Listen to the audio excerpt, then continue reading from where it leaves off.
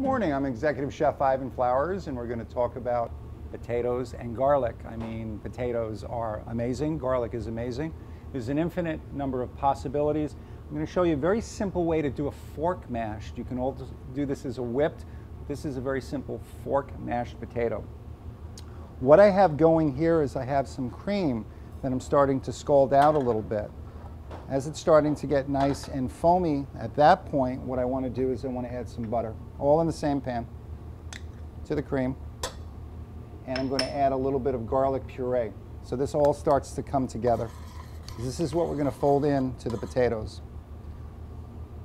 What I've done is I've taken Yukon potatoes, turn my fire down, just my flame down just a little bit. Yukons are nice and creamy. They make a really nice potato.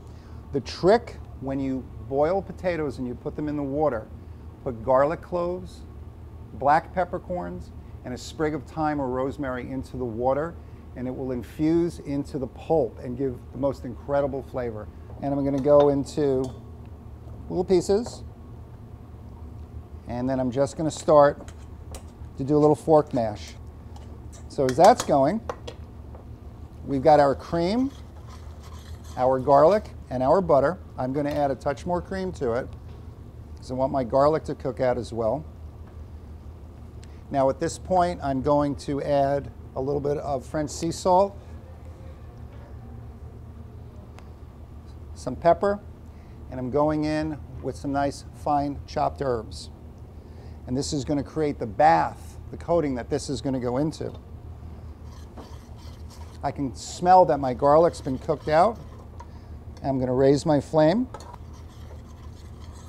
And then I'm going to go in with just enough to coat the potatoes. I'm going to take my fork and finish. Again, just doing a mash.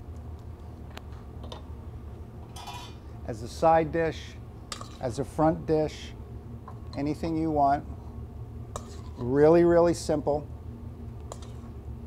Again, nice and rustic a little herbs to finish, and there you have it.